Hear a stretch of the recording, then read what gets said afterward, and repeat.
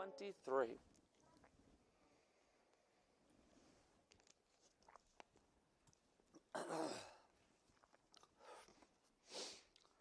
Psalm number 23. The offer still stands. I got to remind, I got to remind every single week because some people have bad short term memories. If you guys, if I have half of Sunday school memorized, be able to quote Psalm 23 by the end of the series, we are going to have breakfast.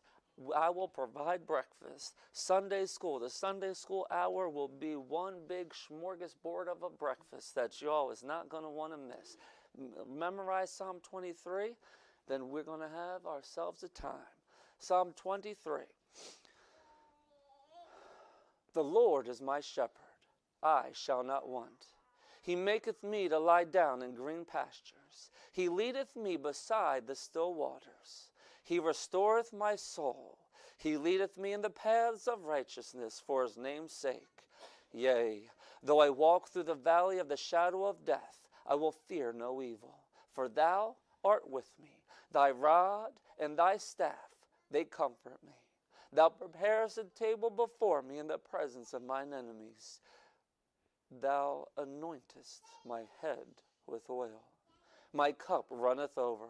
Surely goodness and mercy shall follow me all the days of my life, and I will dwell in the house of the Lord forever. Dear Heavenly Father, Lord, I thank you for all that you do. Lord, I thank you for being here with us, Lord. I know you're already among us, Lord. You're already here, Lord. This is your house, Lord. I ask, Lord, that you'll continue to have your presence here among us, with us, Lord. Help us to hear you, to recognize you, to feel you, Lord. Lord, I ask that you would uh, forgive me of my sins, Lord, that you would fill, fill me with your spirit, Lord, that you would do something, Lord in your service, in your house, Lord, this morning. Lord, I want to ask, Lord, that you, your spirit would accompany my voice and that you would speak to the heart of the hearer. In Jesus' name, amen. So we're going through a, a, little bit of a, you know, obviously Psalm 23, having a different view, a different observation, a little bit more detailed of a view, that of a shepherd, a shepherd's look, a shepherd's view of Psalm 23. I thought that was the funniest thing last week, that video. That how often is that us? It was a video last week, a short little clip. There was a little trench, and a farmer went down because one of the lambs. Got a sheep was inside of the uh, the ditch. He got in there, got all wet, get him out that thing, pulled him out. He ran around one big circle, fell right back in the ditch. And how often is that? With us and the Lord. The Lord delivers us. He gives us free. He allows us to be, He comes to set the captives free. The very thing that in us in sin. It is such easy, so easy that once He delivers us, we don't forget and just end right back in there all over again. And that was that was funny. Only some made me laugh. But we're going through this and uh, looking at it, and we come to the point He maketh me to lie down. I didn't know this about sheep, but apparently, sheep they need four different characteristics, four different qualities, four different things must take place for a sheep for a lamb, a ewe, I don't know what the proper terminologies are, but for sheep, for them to be comfortable enough to actually relax and to lay down and we're going to hit those four qualities. You have to do this because if you don't, if you a shepherd is not going to get to the level where the sheep could respect them, where the sheep will love them, where the sheep will come to trust them. If they do not do that, they are going to be skittish. They're going to be squirming around. They're going to always be uh, on edge. They're going to be wandering around. They're going to be walking along the uh, the fence lines. They're going to be looking for little tears or holes in the fence. They're going to start nudging around there there. They're going to peek their head through. They're going to bust through that fence. They're going to lead the whole flock astray. And it's a nightmare. I don't know personally. That's just from what I read. But maybe one day the Lord will allow me to understand personally because I want to have a farm when I grow up. If you ask me what I want to be when I grow up, I want to be a farmer when I grow up. So, Maybe one day the Lord will allow me to know that on a first hand basis. But right now, that's just what I'm reading. It's just testimonies that I'm hearing from people that do own farms, that had owned sheep, that had owned cattle. Sometimes it could be a pain in the butt. And unfortunately, you can't look at it as a family pet. When you have a livestock of any, any, any kind, any likeness, that is running astray, that is just a rebel to the very core of its being, that doesn't want to be used or broken down or uh, comply with how you want, unfortunately, it has to become dinner.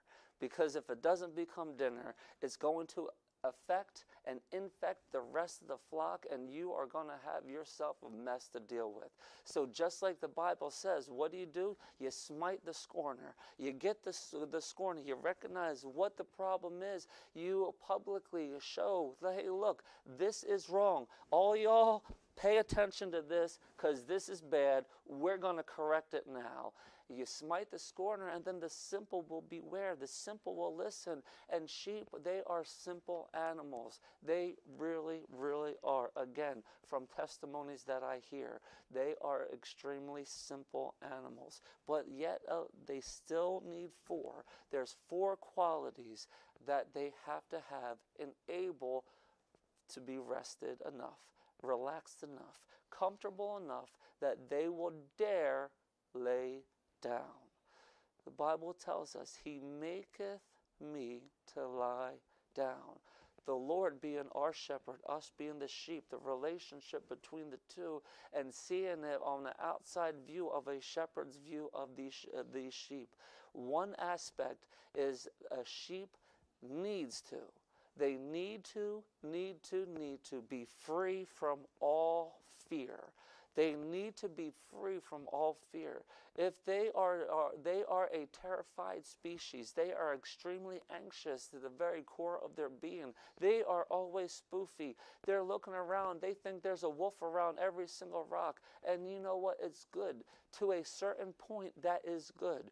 To a certain point, you should be cautious. To a certain point, you should be aware of your surroundings and know what's going on and look to see if there is danger. But coming to the point where you are terrified, coming to the point where it paralyzes you, that is in a bad spot. That is, there's something wrong with that. You should keep a little bit of fear because it is what keeps you going. It is what keeps you protected. It is what keeps you safe. Obviously, outside of the realms of God, the safety is with the Lord. I understand that. But from a human speak, a human level, have a little bit of fear, give a little bit of respect to whatever it is that's on the outside, and it will keep you on edge, and you will have your wits about you dealing with whatever it is. But coming to the point where that fear actually terrifies you, where that fear grips you, where you are just paralyzed and frozen, that is where we can't, we cannot, we cannot be at that point.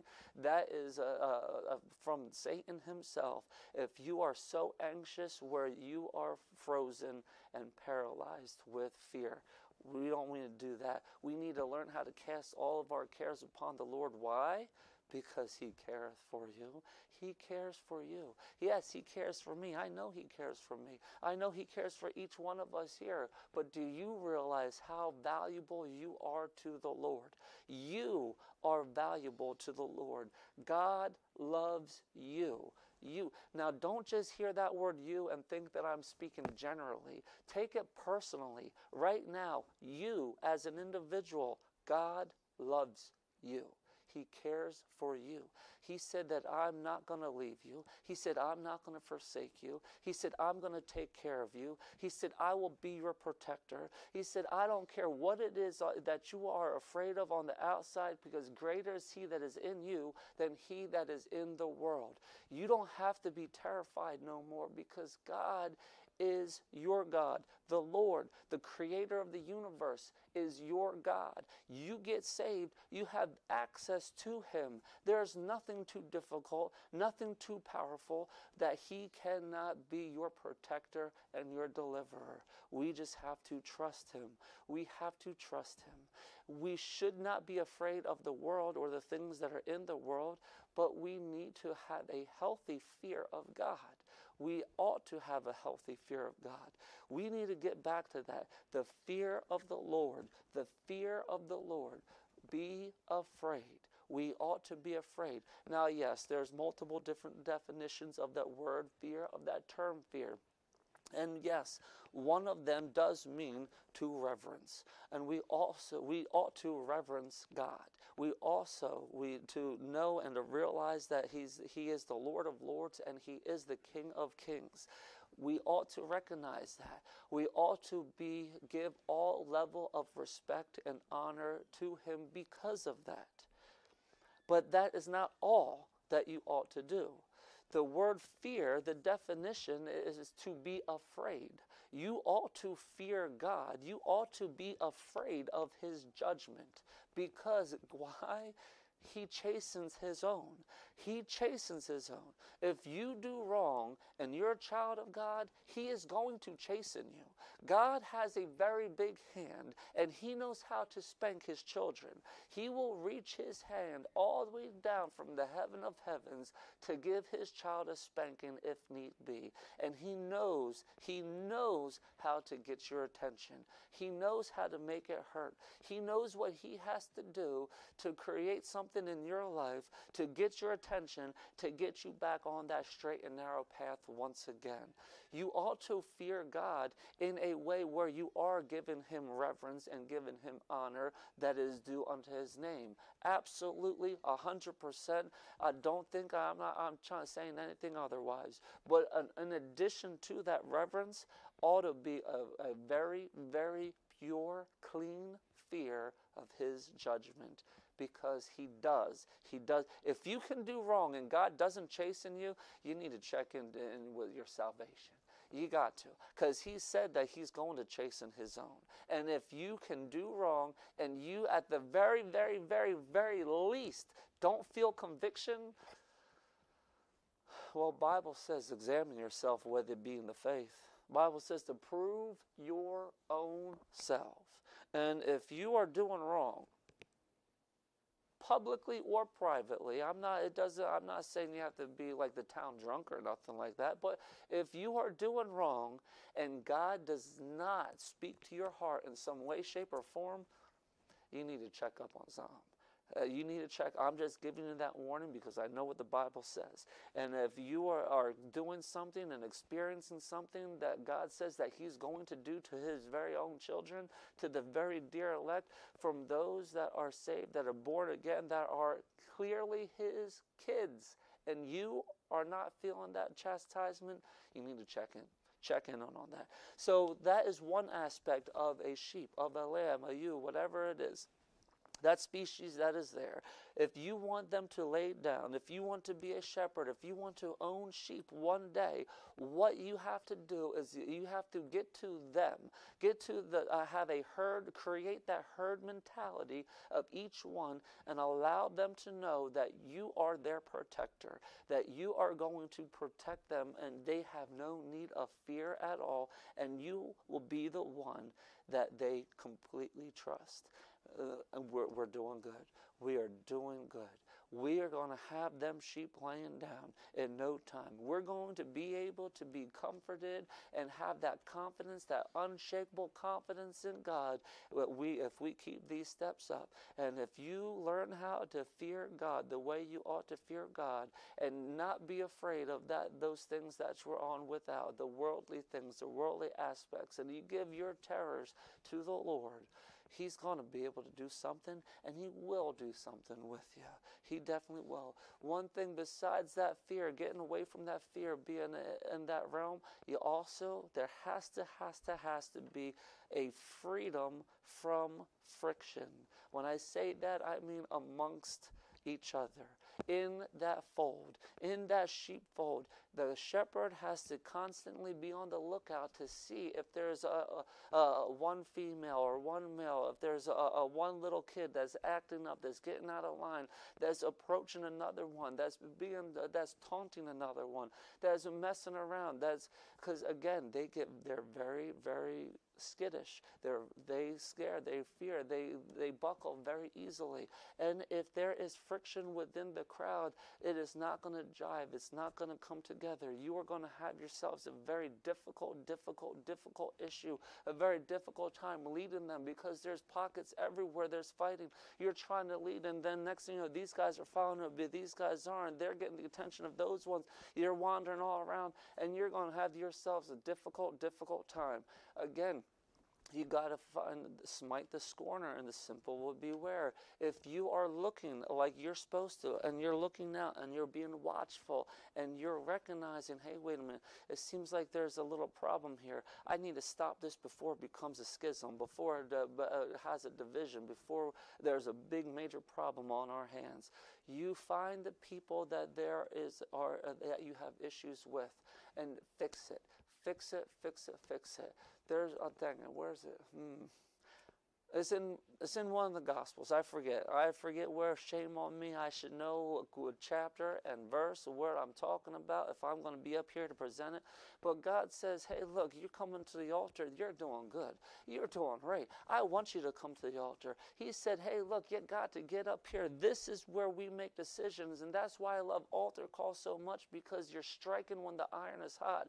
When the preacher is preaching, the evangelist, the missionary, when the the man of God is up." Up here, uh, if there's a women's conference and the lady is up here and she's teaching her heart out, that very moment when God is speaking to your heart, God wants instant, uh, instant response, instant obedience. He wants you to respond instantly. And that's what we ought to do. You're coming up here. God said, hey, look, you're moving up to the altar. You're doing good. You're doing real good. But wait, hold on, time out. Time out. Leave that thing right there. Whatever it is that you want, that gift that you want from me, that promise that you need, that, that, that freedom, that deliverance that you're looking for, that answered prayer that you so desperately need, you leave that thing right there. Remember, you got a problem with brother so and so.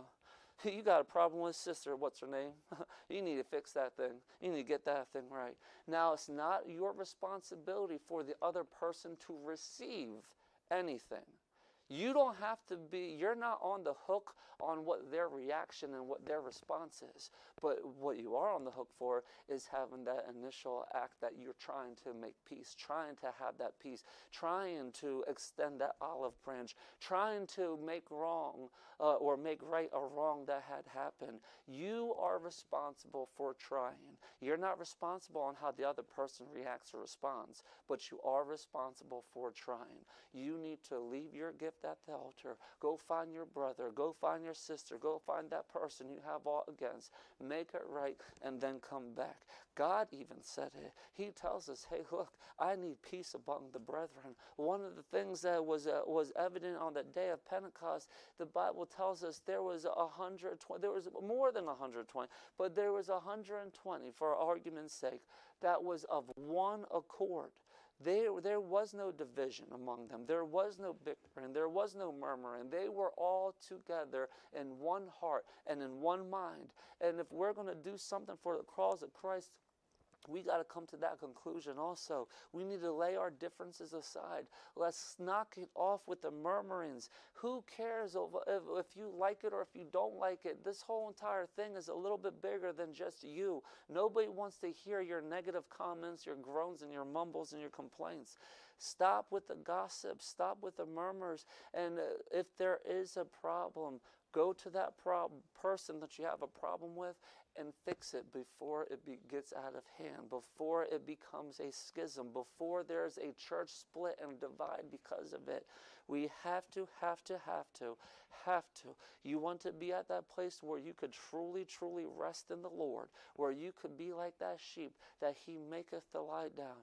You have to get away with the, the, the fractions, with the divisions, with the strife. We have to get away with being at odds with each other. We have to be free from the friction. We have to be free from fear. There's another thing we need to be free of. If you want to see in a pasture a, a, flock of sheep laying down, yes, those two aspects have to be there, but there's another one too. They have to be free from flies and pestilences and parasites. They have to, have to, have to be free. Be free. Hold on, I'm checking. Be free from pestilences. Be free from parasites. Be free from the flies. In one aspect, I see uh, see this. What can it be? It could be a distraction. A lot of times, when I'm on a farm or I'm on vacation, I go see here or there, see livestock. I see sometimes, sometimes flies all over the place, getting in their noses, getting in their eyes. They're just, you just see them twitching their ears, trying to get some free, flipping their tail around, rubbing their their their faces on, on the fence post. They're trying to get a sense of relief. They're trying to uh, get uh, away from the distraction that is there. You know how annoying it must be. The pastor said the, the other week. He said, "Did anybody else see the fly that was in the sanctuary?" And I'm thinking that's just one fly, and he's getting so distracted. Imagine if he had 150 flies just swinging all around the place. There would be a little bit of an annoyance there. There would be a, a major distraction there. I don't even know if he would be able to focus on anything else if 150 flies just come straight at him and start swarming all around him. He would be. That would be kind of funny, but anyway. but he would be very distracted and that's what we we got to recognize distractions. When we know when we get something from the lord when god has given us uh, something and he, even more importantly when he doesn't speak to you when he's not very clear how much more important it is. I say that because we know what the general will of god is Everybody knows what the general will of God is. You have a Bible, you know what the general will of God for everybody, individ- every individual here, that you know what it is. You have it in Scripture. But you don't necessarily know what God's specific will is if you uh, that is a little bit more specific to each individual personally. What does god have for you? Why is it that you are here? What did god create you for? You fit into the body of christ in this local location right here to give something to it. What is that thing? That is a specific will for of god in your life. A very personal calling so there's a couple different aspects of it. If you know what it is that you're, if you don't know what your specific will is, just keep on doing what you know is right. You got God's general will. You know that you're supposed to be in church. You know that you're supposed to be reading the Bible. You know you're supposed to be praying. You know that you're supposed to be living clean to the best of your ability. You know when you sin that you're supposed to repent of your sin, bring it to God and keep that a short sin list there. You know there's some things that you know that you're supposed to do and that you just keep on doing it and you keep on doing it and keep on doing it because you know it's right. And eventually God is going to reveal his specific will for you. But he, the devil is going to try to distract you. He's going to try to distract you. He's going to try to put people in your way to slow you down. He's going to try to cause a situation and scenario to put hooks inside of you to allow you to be uh, un- uncertain, to allow there to be question marks, to allow you to hesitate. He's going to try to d- distract you of every single way possible that he can. You can't do it. You know the direction God has you in. Just go one step at a time. Go forward, go forward, go forward. The devil is going to create distractions. He is a master of it. Don't pay no mind to those. That's one of the major things that I, I hate about these phones, about smartphones because of the technology, especially with social media, whatever avenue, whatever platform you want to use. I'm not even talking about sinful things. And if it's all flat out sinful, well, shame on you in the first place. Yeah, ought not to even have one if you have a problem with that. But I'm talking about the things that aren't even really necessarily sinful. It's just time wasters. They distract you from what's really important. They suck the life out of you. And that's another thing that the parasites parasites do. They suck the life out of you, they bleed you dry. And that is what Satan is trying to do. He's trying to get you so distracted, so many irons in the fire, that you are ineffective at everything that you do because you're doing too much and it amounts for nothing. And the, all your efforts in vain because you are running on fumes that you don't even, uh, you, you can't even recognize God's voice with your own voice because your thoughts are flying a minute, a mile a minute. You're hearing other people's counsel counsel. You're taking in everything from every. That's why I opened up in the beginning about the sensitivity to the Lord. Because when things are good. When you're in the mountaintops and you have that experience with God, it's very easy and very clear. You know what God is saying. But when you're in that valley, sometimes you have a thousand different directions that you possibly can go. You hear God, uh, or you know what God said, but then you hear different voices pulling you this way, pulling you that way. It seems this opportunity is here, and that opportunity comes, and you don't know which way to go. And every uh, every outcome seems to be a good outcome. The devil is trying to cause confusion. He's trying to stir up inside of your mind uh, a, a direction other than the one that you ought to be chasing. Just stay with the stuff. Know what you are doing. Know God's voice specifically what He has for you, and just keep on going and keep on going and keep on going. One of the things you have, we, they have to be free of flies. And then I, I thought one of the names eh, of Satan is, is Beelzebub. And what is, I think that is the Lord of the Flies. I think that's what it is. Satan himself, that what a reminder, we wrestle not against flesh and blood. We don't. Yes, people can be annoying. People can be very annoying. But you have to come to the point if you believe that this physical world is the outward manifestation of the spiritual realm and realize that people for a lack of better terms are like puppets we don't know what's going on. We don't know the, the spiritual, in the spiritual realm, what is influencing us and what is prompting us and what is going on. The devil is an opportunist and he is going to set the stage and create things to happen to rip your heart away from the Lord, to get you busy, to get you caught up with something else, to distract you, to lead you astray. He's going to try. He is going to try when you can't do it on your own. You can't do it on your own.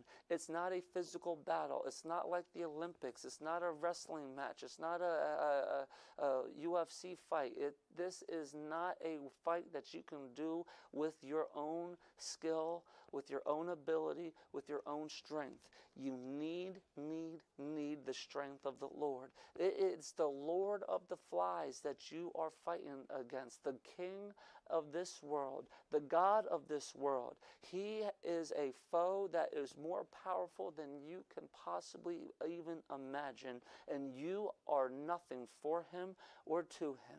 You can't do this in your own strength. You need to be ready to fight. And how is it that a child of God is ready to fight? Well, you ought to do a study. Pastor went through it recently. If that wasn't good enough, do another study on Ephesians chapter 6, the armor of God. I will tell you to read from verses 10 all the way down to verse 20. Read it all. Study it your own self. We wrestle not against flesh and blood, but against principalities and powers, spiritual wickedness, and rulers of the. It's bad but we got to have our targets or our targets ought to be the right ones the guns pointed in the right spot it's not your it's not your wife. That's not the problem. The husband is not the problem. Your boyfriends and girlfriends, that is not the issue. Children and parents is not the problem. It is the behind the scenes. It is Satan stirring up trouble. That old slewfoot, good for nothing, good for dirty, rotten old snake that he is, that dragon, he's behind the scenes. He's the one that's trying to sow discord among the brethren. He's the one that's trying to get get us to turn our, our, our attention away from each other and pull our hearts away from each other. God wants unity. He wants our hearts knit together in love. And Satan wants us to be divided. And he's going to try everything, everything in his power. One thing that I noticed, at least for me personally, God tells us, He warns us that Satan has access to heaven right now. And the Bible tells us that he is the accuser of the brethren. The Bible tells us that he does go and try to create a case against us. That's what the Bible tells us. So, if he is the accuser of the brethren, this is just to be safe. If you hear anything about brothers so and so or sister, what's her name, anything at all, just assume that there's some kind of misunderstanding, something, no, that you're not understanding it right. You're not receiving the way it's supposed to. You didn't clearly hear the, the explanation. There's something. Because most of the time, most, I would say uh, upwards, even over 90% of the time, an argument or disagreement is either one, I didn't relate to you what I was trying to, the, the message I was trying to give. I didn't relate to you properly where you properly understand where I'm coming from. Or the other way around, the person that's listening didn't receive it the way that it was intended to. They thought something else. They thought this thing was uh, in the way. They thought this was the reason why. Satan is good at what he does. I'm not saying he's good. He's not good. He's wicked. He is no good. But what he does, he does well. He is a master, a master in psychology that he had over 6,000 years to study the human mind. He knows what it takes to get us to move, to get us to respond, to get us to tick. He knows how to operate uh, the natural realm as well as the spiritual realm. And you're not going to, you are not going to do it on your own. How else do we uh, do this? How fight this battle? Yes, we need to get strapped up in the armor of the Lord, but we need to be filled with the Spirit. You need to be filled with the Spirit. I'm not talking about be indwelt with the Spirit. You get indwelt with the Spirit the moment you get saved. You get baptized in the body of Christ. The Holy Spirit of God indwells you. You are sealed unto the day of redemption. I'm not talking about being indwelt with the Spirit. I'm saying if you want to be successful as a child of God, that you are actively being a soldier for the cause of Christ, you are doing something, you're going to have to be filled with the Spirit of God. That's not you getting more of the Spirit, but that is the Spirit getting more of you. You need to learn how to pray. You need to learn how to get a hold of the Bible, get in the Bible, discover biblical truths, how to apply them, you need to hear that still small voice of God. You need to, need to, need to. And lastly, you have to be there has to be a free a free of hunger, a freedom of hunger. If the sheep are hungry, they are going to be looking. They're going to be all walking around the place. They're going to be looking on the other side of the fence. They're going to think that what is on the other side, the grass is greener on the other side. They're going to be distracted like uh, never before. Sometimes that even affects people. You heard of that, that, that term called being hangry? You, you get hungry enough, any individual gets hungry enough, some people, not any, I don't want to say any, but some people allow that sense of hunger, that feeling, that, that, uh, that uh, well, I don't know how else to describe it, but that hunger that you feel in your stomach, they allow it to do something in their mind. They allow it to trigger something in their brain, and it affects them negatively. They become a negative Nelly. They start uh, cussing all kinds of cusses without really cussing because it's that Christian curse words, you know that. But it really means the same thing. You're expressing the same exact thing, but you just, you know, you know, patch it up, make it look a little bit more friendly, put a little smile on it, and it's okay. But you do that, you, you got you we have to come to the point. I'm getting distracted. We need three, four things. Time's up, ready to go, and I got to end this thing now. You, you have to be free of hunger. You have to know that the shepherd is going to feed you. Yes, God tells us, man shall not live by bread alone, but by every word that proceedeth out of the mouth of God. We need to take in the Bible, take in mega doses of Scripture. We have to allow the spiritual man to be fed before the physical man is fed. We need to rely on the Bible, rely on God, rely on Him completely. If you have those four aspects of fear, uh, uh, of freedom of hunger, of freedom of flies and parasites, of freedom of that friction, of freedom of fear, you are going to see out in the, in the hills a pasture of sheep, a flock of sheep that is able to be calm and able to be settled, able to be comforted, that is able to jive together and actually laying down.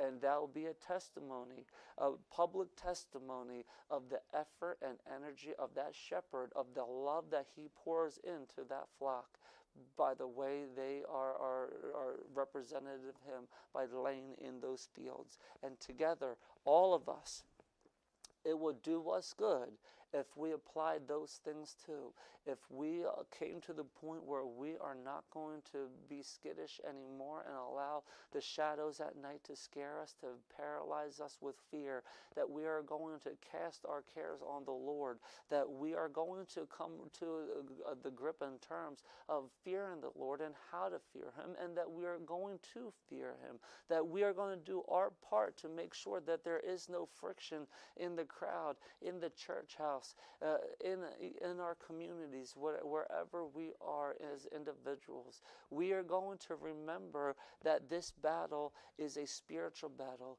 that our enemy is a spiritual enemy. This natural world, yes, at times seems to rise up against us, but when they do that, it's not because they had it in their thought process to do whatever.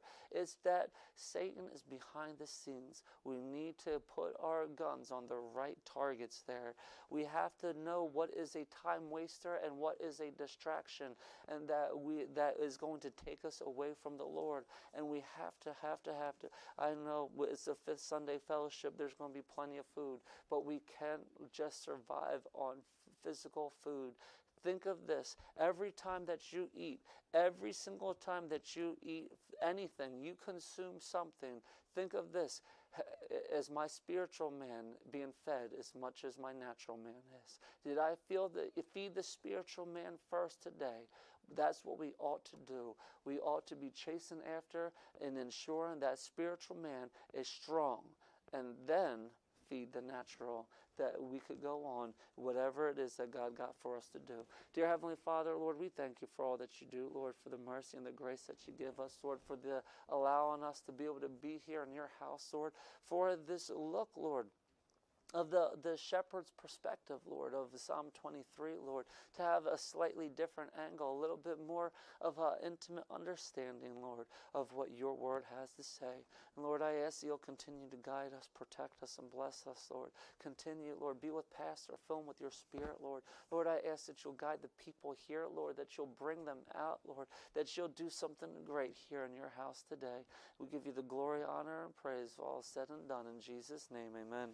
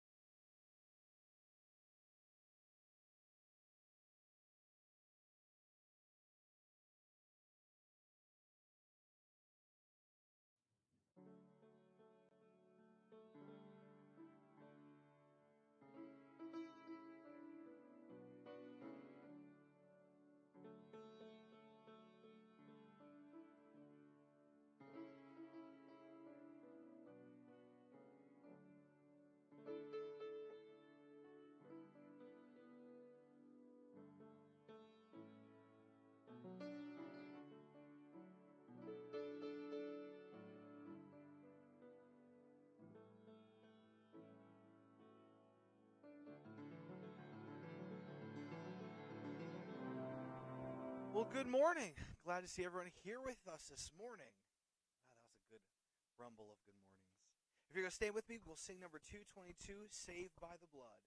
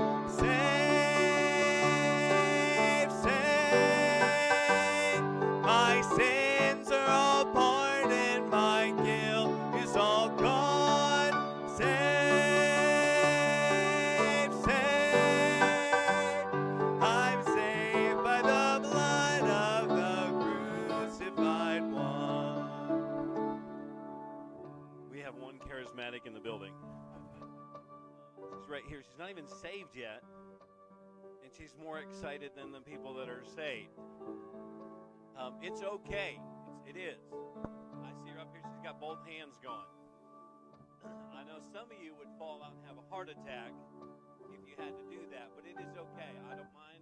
Hand raised, two hands raised. Some of you were so unsaved when you got saved, you should be jumping up and down and both hands. Uh, and that's probably what I'll do in the next verse. Uh, but it's okay to show a little emotion. Don't let the ones who aren't even saved yet outdo us. Uh, even if it's just a smile on the face, that would help. Join me on verse 3. Saved by the blood of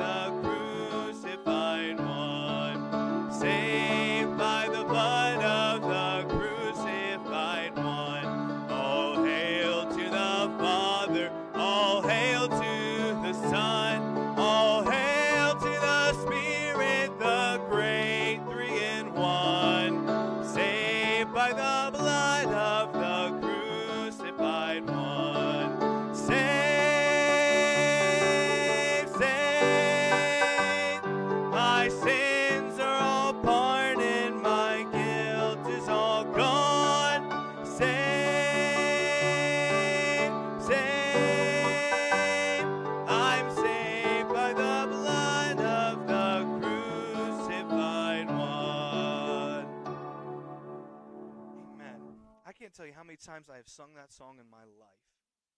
The truth, the simplistic truth of the salvation for every single one of us. My sins are all pardoned, my guilt is all gone. How many people are still shackled by guilt and shame when we don't have to be? There may be times in here where we don't want to sing out loud because like I don't feel like I'm worthy enough to be a Christian. I, I feel like it's I'm singing these songs but they may not apply to me. That's not true. Are we saved? Yes, this song applies. You can get excited about every single song we sing because this is the truth available for every single Christian in Christ, no matter who you are. Let's pray. Dear Heavenly Father, Lord, I thank you so much for this day, Lord. I thank you for the salvation that you give to every single one of us, Lord. The joy that can come overflowing from our lives just by being your children, by being uh, free from our sin and our guilt, Lord. That is what you promise. That is what you demonstrate, Lord. And we know you have the power to do that. I just thank you so much for your salvation by your blood, Lord. I just pray that you uh, be with us today, Lord, as we have a day of fellowship and a day uh, of your word. I just pray that we would be uh, fully engaged in the preaching today, Lord, that we would uh, see what you have for us, Lord, to get excited about your word and the truth that is about to be given to us today that could possibly change the rest of our lives and the outlook that we have on life. I pray that you would help us focus today and be with us now as we come and continue to sing praises about you, Lord, and to you. I pray every single heart here would be uh, joyful in singing. And I this in Jesus' name and for his glory. Amen. Number 224, He Keeps Me Singing.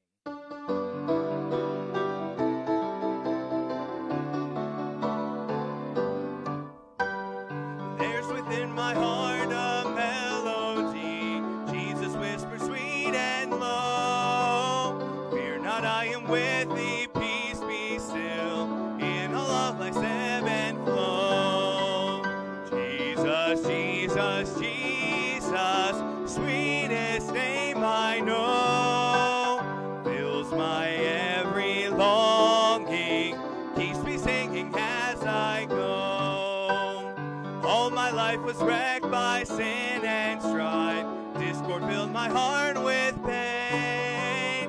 Jesus wept across the broken string, stirred the slumbering chords again.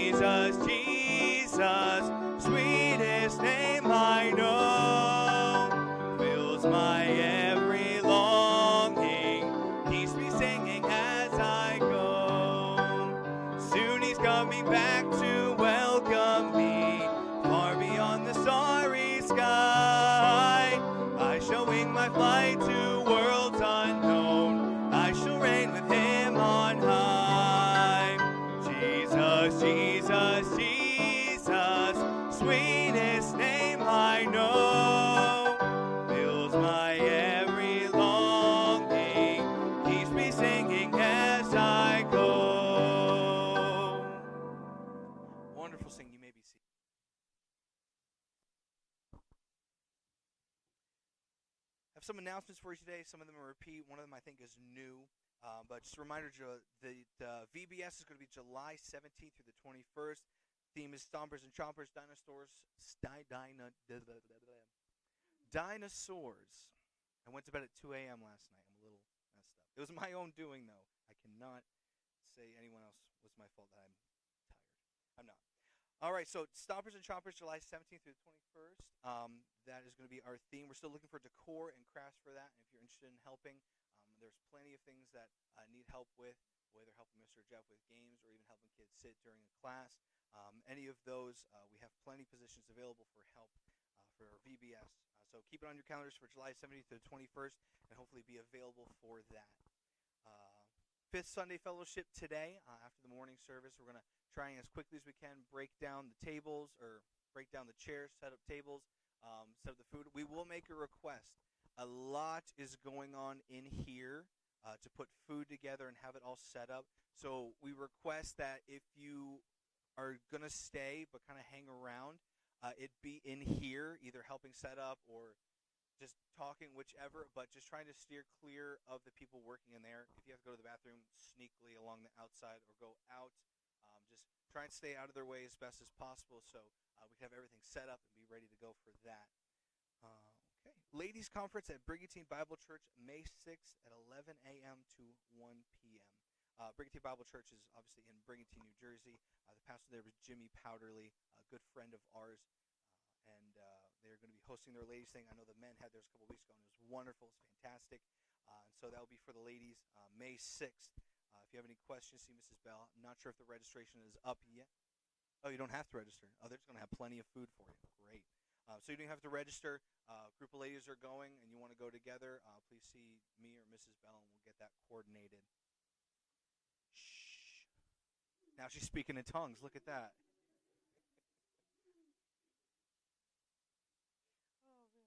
Um, so if if anyone has looked at our calendar, which I have not even looked at our calendar a lot, um, but we do have a calendar. It's a beautiful calendar. It has uh, the idea for how we want the year to go as far as events and such.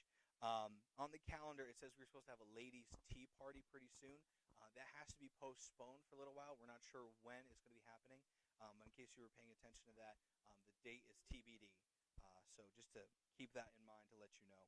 Uh, Memorial Day picnic is going to be Monday, May. It is not the 39th. Someone wrote 39th. The 29th.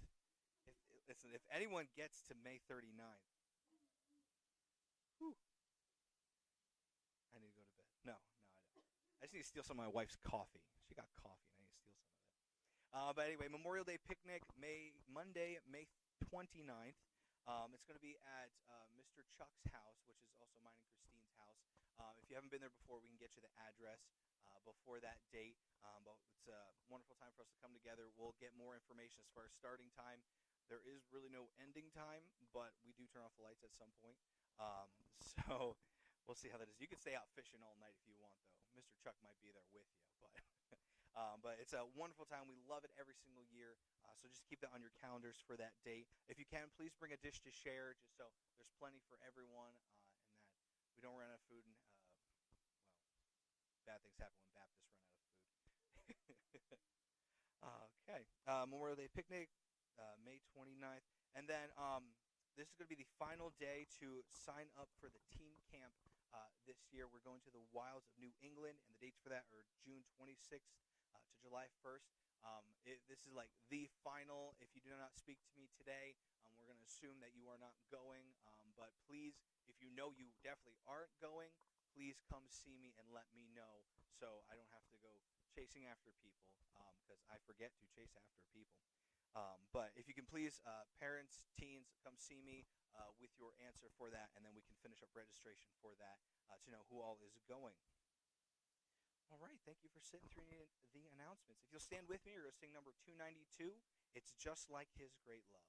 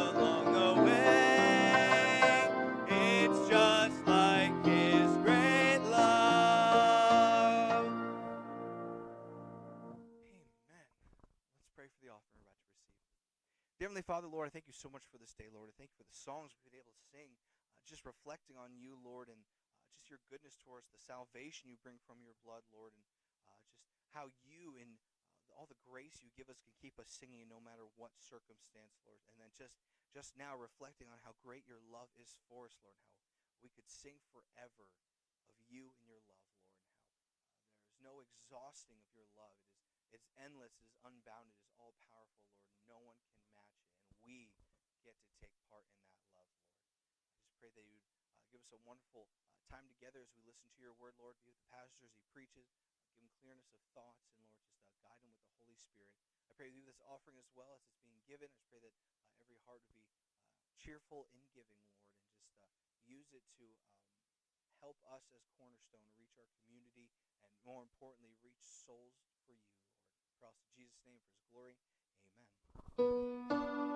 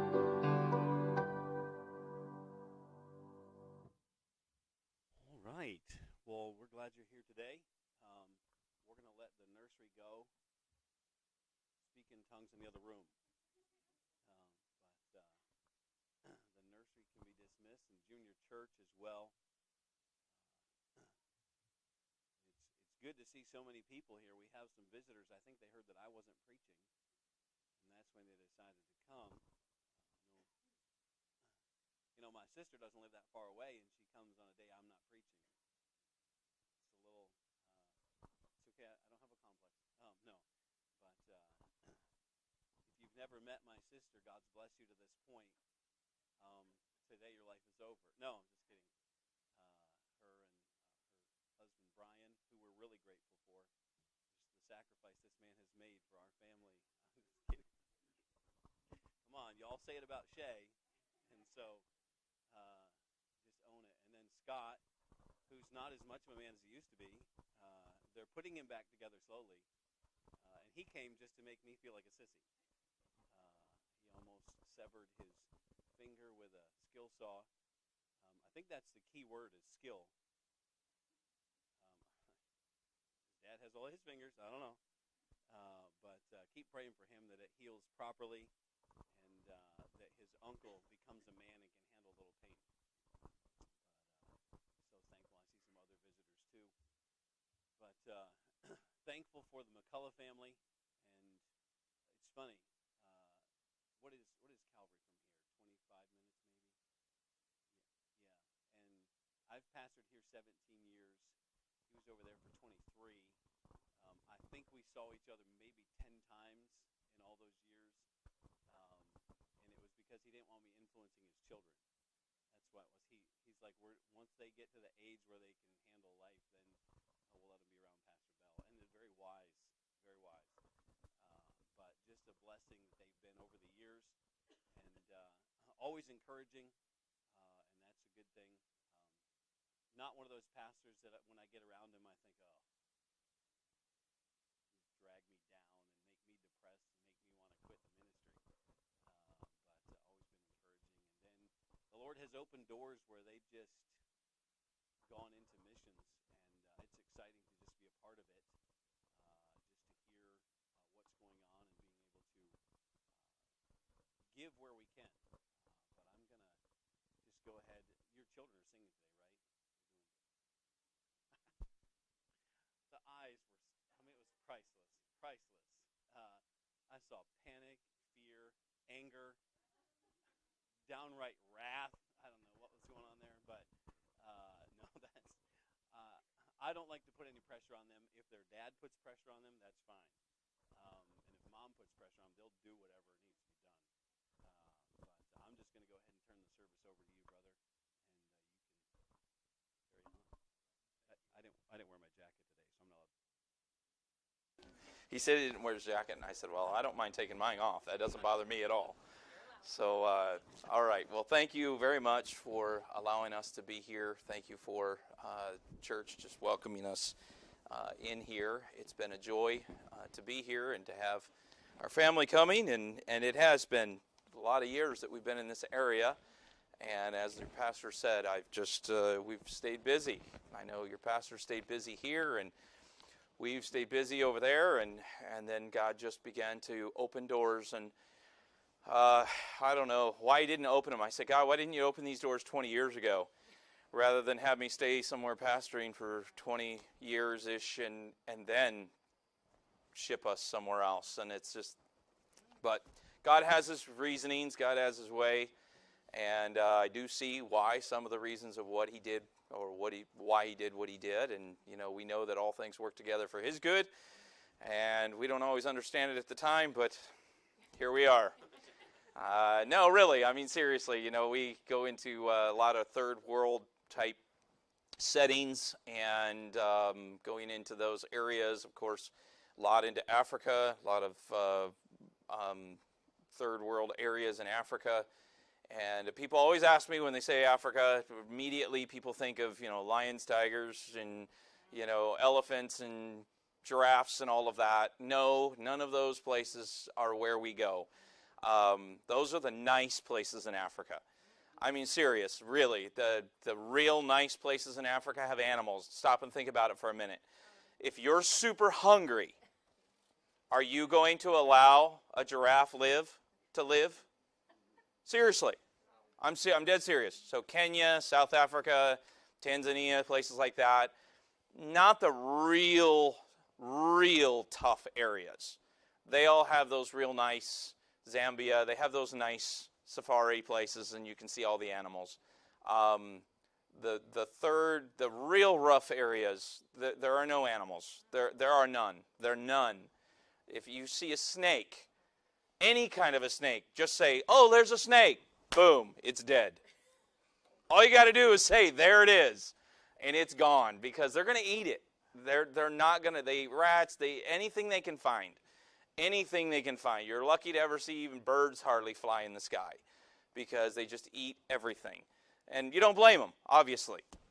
Um, but anyway, I do appreciate you as a church getting on board. I want to show you some of the things that y'all are doing, and I want to challenge um, you to can just continue to do more. So we just were in uh, Sierra Leone, Africa. Just I, I, say five weeks. I think it's been more than that now. Six or seven, six seven weeks ago, we were just in Sierra Leone, and um, I want to give you a little bit of an update on that, and give you an update on how things went with the national pastors. We went there mainly for our um, marriage conference, bringing in all the national pastors. Did I mess this up? For a marriage conference, it's working. All right. Um, so we mainly were there for that purpose, but um, obviously we did other things. We reached into some new villages, working with some national pastors. So I want you to see kind of a little bit of an update here. So we'll go ahead and show that short video clip there.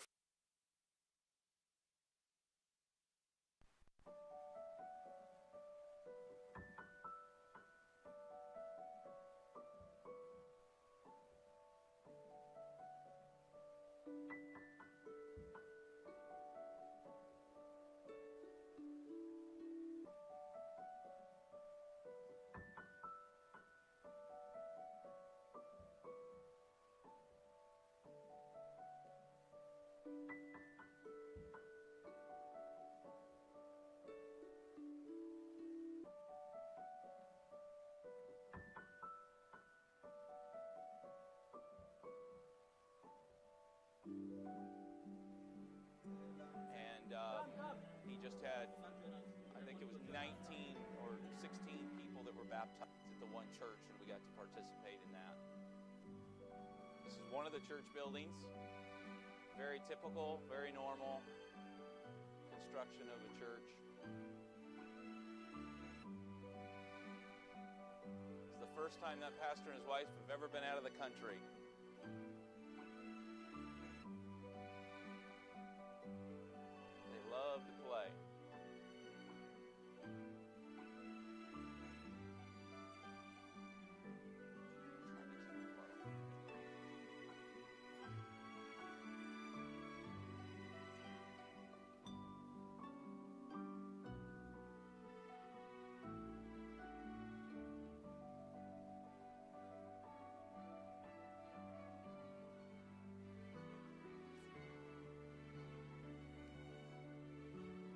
Average life for an adult male in Sierra Leone is, I think, 46. Lots of children that are orphaned. And when they're orphaned, they just live in the trees. They live in the woods. There's no orphanages, there's no such thing.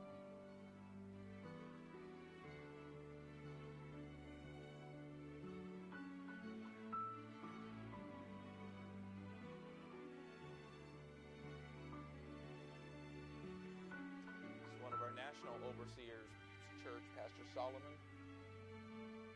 This church was built in the 1800s. This is our marriage conference. Of course, there's no hotels, so we just take pup tents, and each married couple gets a tent. They think it's the greatest thing in the world. They've never stayed in a tent, most of them, ever. So our national overseer for Mission Uttermost, Pastor Van Boy, renew their wedding vows during the marriage conference. Pastor King and his wife, Alex.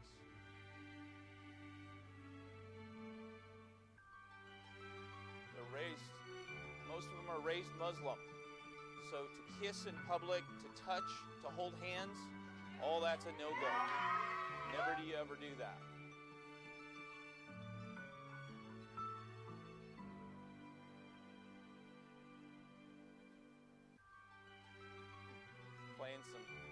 Obviously.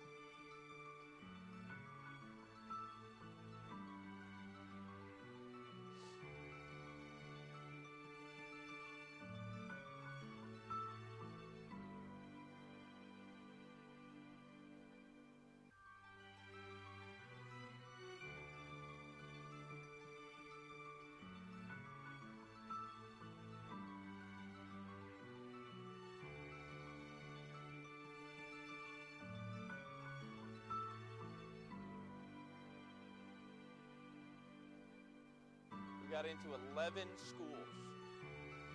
You teach, preach, open.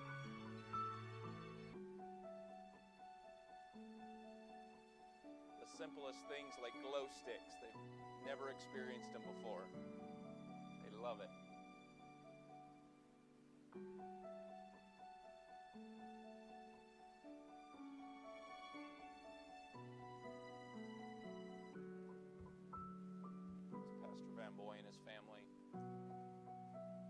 Started six churches in the last 10 years and he's buried two children.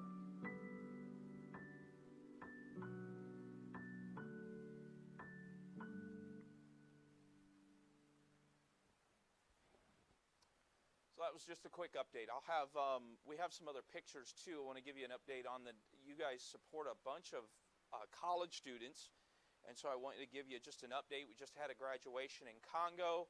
Was trying to get there, and I just was unable to get there because we just got back. We're leaving on Friday for South America, Peru, Iquitos, so we're not going to be around long here.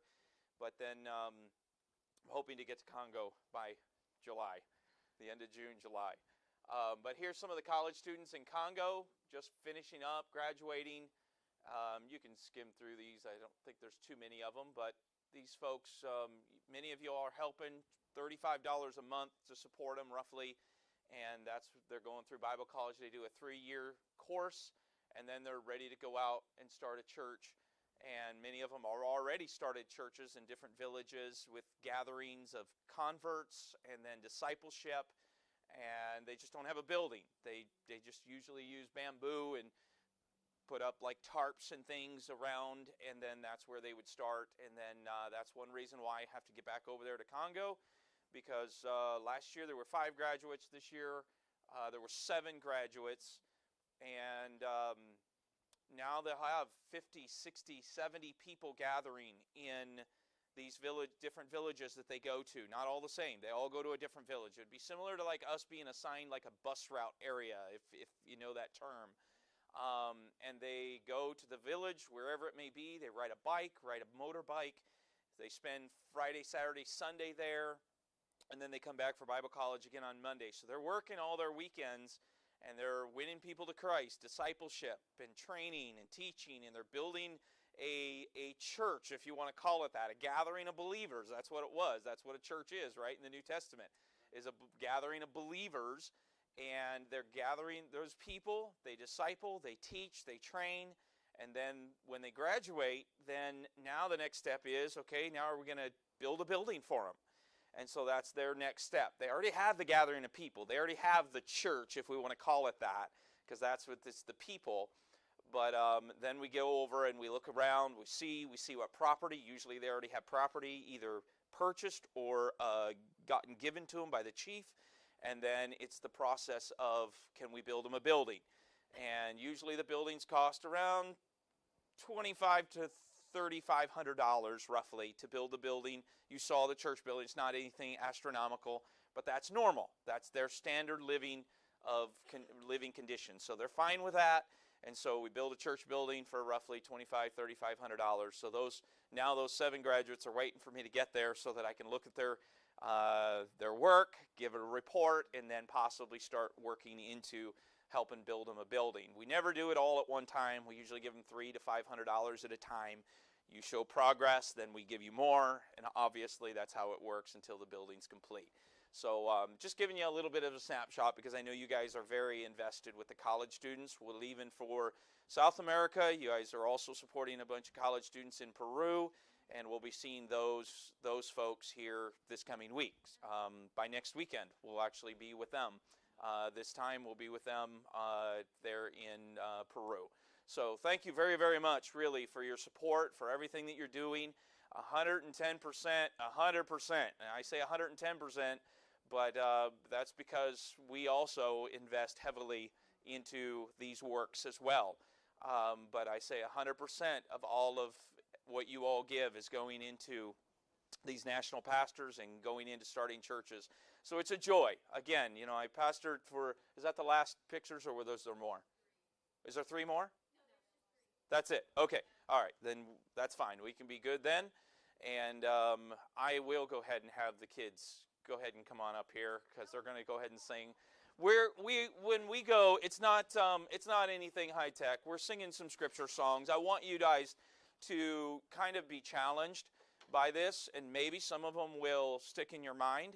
We started doing this, uh, I'd say maybe three or, three or four years ago. Heavily, we started learning scripture, learning scripture by song, and putting so, scriptures to music and other people, and taking them.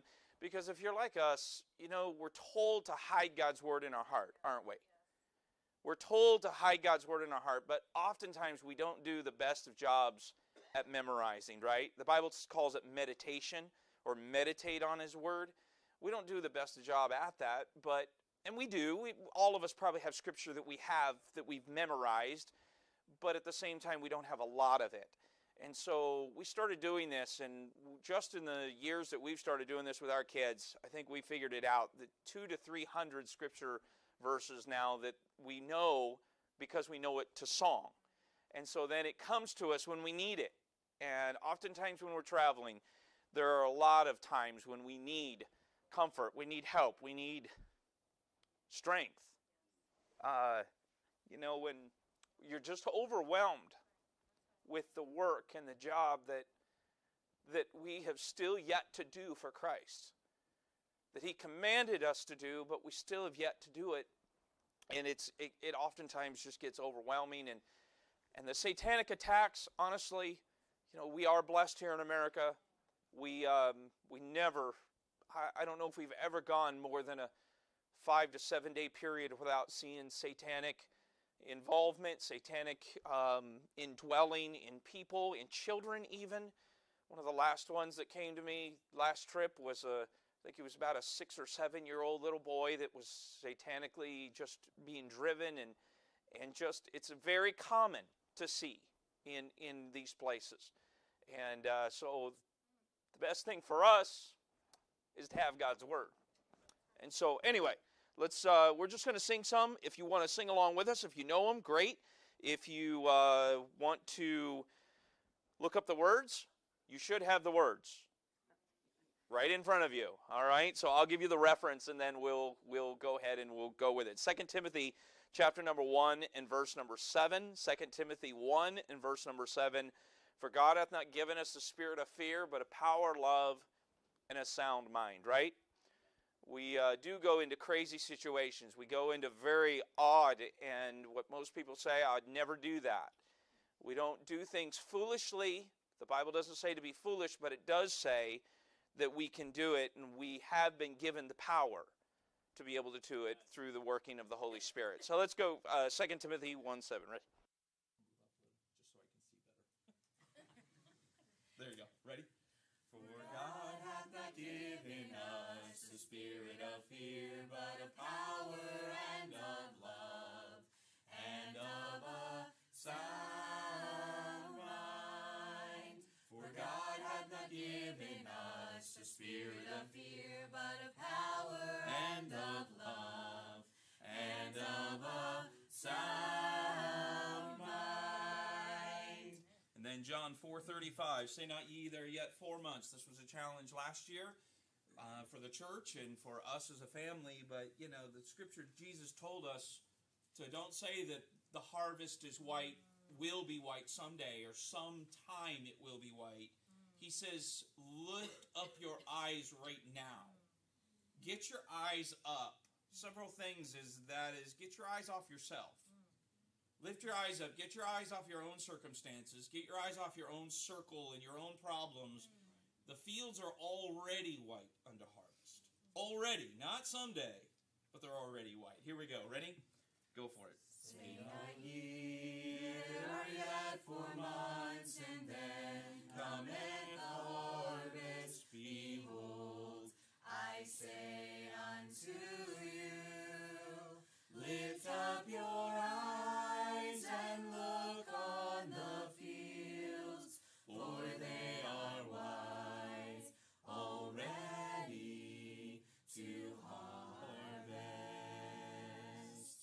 Timothy 5 7, casting all your care.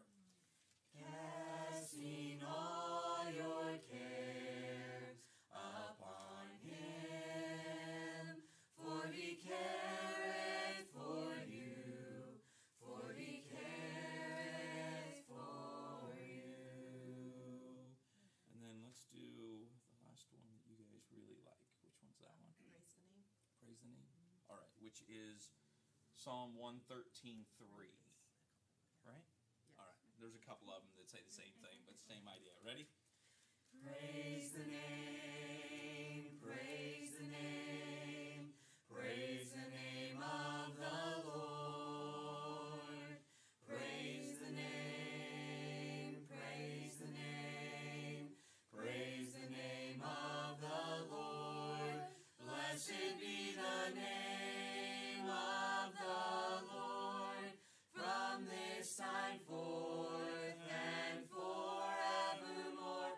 Blessed be the name of the Lord from this time forth and forevermore. From the rising of the sun until the going down of the same, the Lord's name is to be praised. Thank you, guys. Thank you. Appreciate it. And um, just our challenge, really, for you to, um, you know, remember and meditate on God's God's words. You know, when you are um, in some of these places, uh, there's no electricity and there's no running water, and you know, and it's very, very dark. You're just um, it's dark not just physically, but also spiritually very dark and you know you, you you know i've had to learn. In fact i was almost going to do it today. I've had to learn to actually try to start i need to start learning to preach from an ipad or something that has some light. You know your notes you can't see your bible you can't see anything when you're in these places. And um, you know it's just i have to learn something new. But anyway uh, it's it's very interesting learning and and adapting to whatever environment and whatever situation that you're you're placed in. Um, you know, you're, you're it's very uncomfortable at times, but God didn't tell us. You know, God gave us the command to go into all the world and preach the gospel. He gave us the command. In fact, um, some of you may know the name Jim Elliot. I like Jim Elliot. He did a great work and a great just setting of a testimony for many others to go. But you know, Jim Elliot said in his some of his writings in his personal diary, he said, you know, we don't need so many times we have people and in churches just like this, and I was in a youth department too. Well, if I'm called, I'll go. Well, if I'm called, I'll go. There's nowhere, by the way, just so you know, church, there's nowhere in this book that says that you have to be called. You don't have to be called because technically we were all commanded. When Jesus ascended and he was going back to heaven, he gave the command not just to 12 disciples or 11 disciples. He gave the command to everybody, all the believers that were there man, woman, and child. All the believers were commanded to go to the uttermost parts of the world. They were all commanded. And he didn't say, Go if I command you, or if you get a calling. He said, Go. It was a command. We were commanded to go to the uttermost parts of the world. All of us. Now, whether that's in your village, whether it's in your town, whether that's right here, or getting involved with supporting, and I know your church is a church whole, you support many missionaries, and I'm, that's thrill. That's a wonderful, wonderful, wonderful thing, and we should because the fields are wide unto harvest, but the labors are few. But Jim Elliot said, You don't need a call. We all don't need a call. We need a kick in the pants. We don't need a call. We need a kick. Because, you know, and I'm trying to remember who it was, maybe Oswald J. Smith said, You know, God doesn't need to give us a calling when He's already commanded. We've already been commanded. And again, as parents, and and uh, I think of this often. I'm not even into my message yet, but as dads, you know, if you gave your kids a job to do and you said you need to cut the grass and you need to, you know, milk the cows and work on the farm and you need to do these things, right? You had a you had a job, you a job that you were commanded to do. And if you come in the house and dad says, "Son, you didn't do the job." And you say, "Well, dad, I'm just waiting for a calling."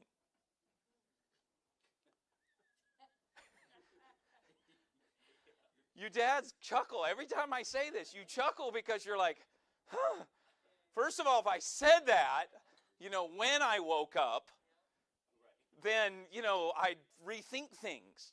But if the dad was calm enough, if he was calm enough, if I would be calm enough as a dad, if my son said that to me, I'd say, Son, you need a calling? I mean, I've already told you to do it. You're telling me you need a calling? All right, come here. I'll give you a calling. Well, whatever you want to call it, but I'll give you a calling. You'll feel called by the time we're done. Right? I mean, honestly, uh, if, if God already gave us a command to go, why do we as believers in churches, and I, I've been as guilty too, well, when was your calling? But uh, when was your calling is a command. We don't need some special calling when you've been given a command. Amen? It's amazing. Anyway, that's not my message at all. Take your Bible and go to Ezekiel. But some of you, I figure, won't stay awake long enough for the message, so I'll just give you a real quick something so at least you've got something there. By the way, church, thank you. Ezekiel chapter number three. Thank you for, um, for just your faithfulness and your love. I appreciate your pastor and family so much, his wife, family. Um, you know, we just, um, you know, coming back from Sierra Leone and uh, just kind of came back into kind of a bit of a, a fiasco. God knows what He's doing always, but, you know, we just don't get it. And it kind of threw our family a little bit into a just a little bit of a crazy whirlwind. But um, but I do appreciate the your pastor knew and that's one reason why when we come to visit, I know maybe you thought, man, why, why aren't you giving us an update or why this or why that? But we were just um, taking a couple weeks to kind of recuperate, pray, and um, kind of heal a little.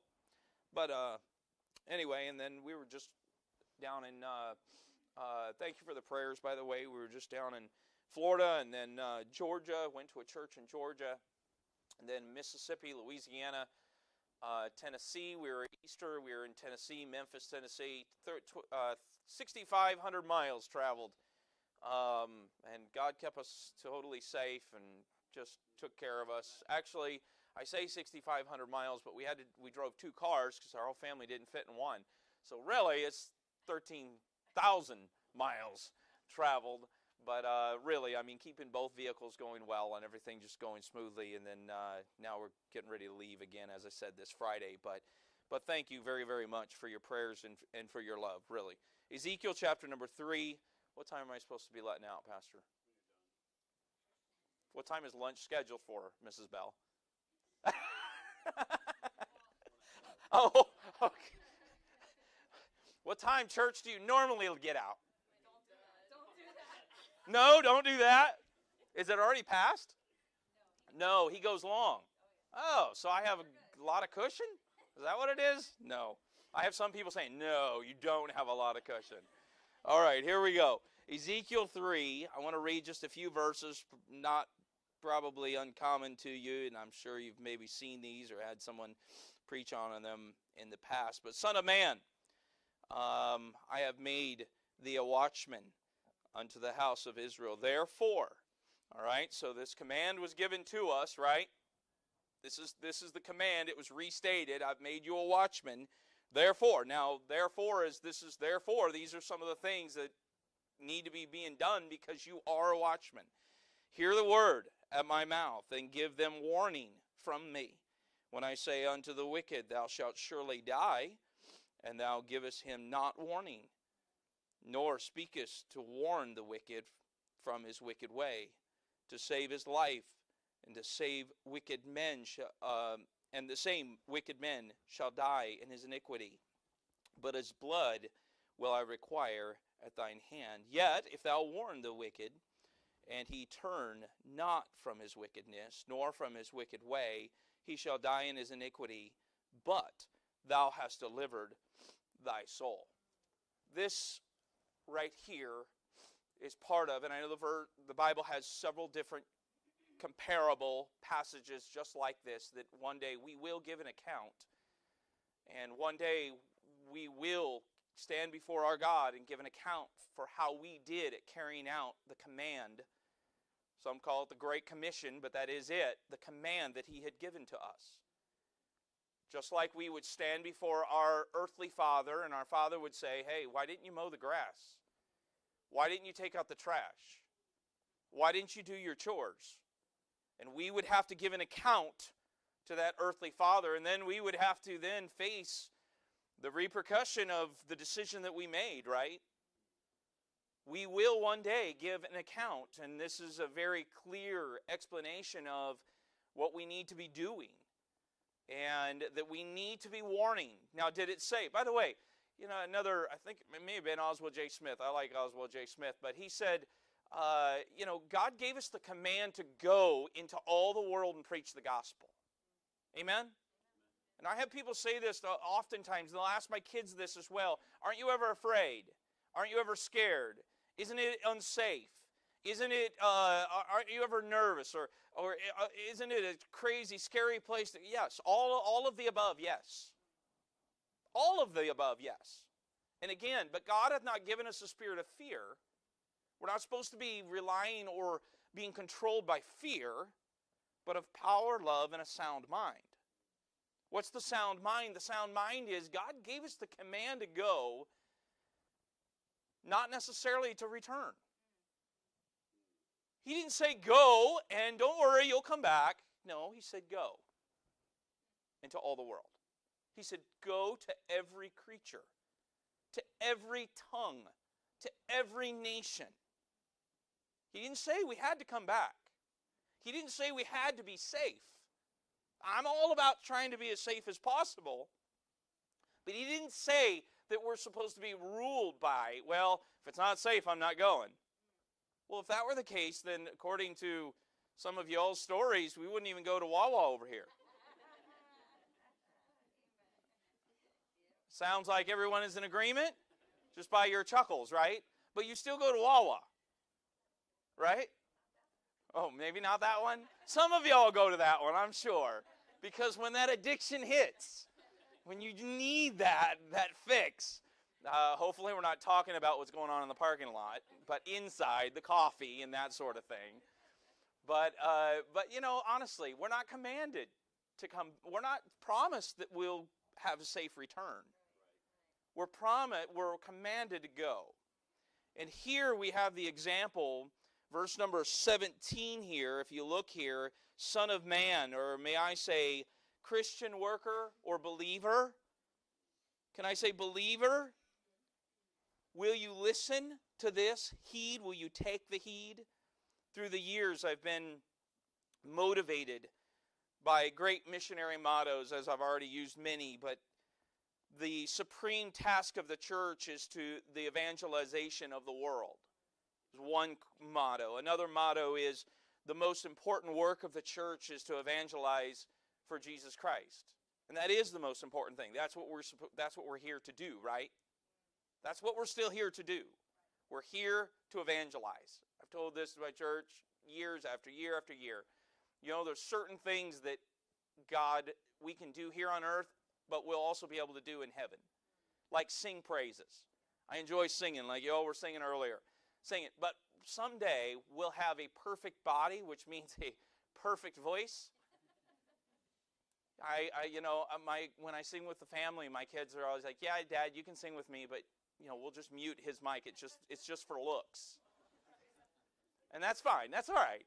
Someday we'll have that perfect voice, right? That perfect body, and we'll be able to praise and sing praises to God. We'll be able to worship God better in heaven than we worship Him here. We'll be able to worship Him more godly, more purely in heaven than here. We'll be able to wor- sing praises to Him better in heaven than we'll ever sing praises to Him here. Uh, really, let's just be honest, right? When we have that new glorified body, when we when we have that er, the sin of our flesh done away with, and we're not trying to manipulate, and we're trying to get you know what we want, and you know those selfish things that we have. We'll be able to do things so much, but there's one thing in heaven that we will not be able to do better, and that's witness.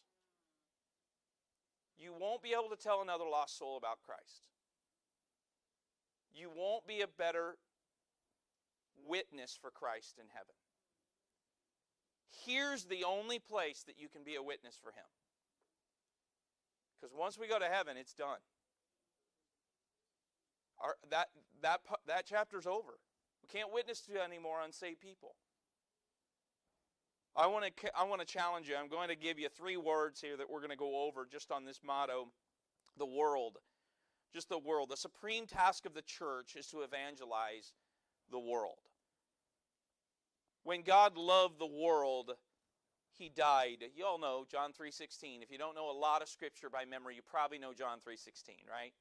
For God so loved the world that he gave his only begotten son, right? He gave his son to the world, not just to America.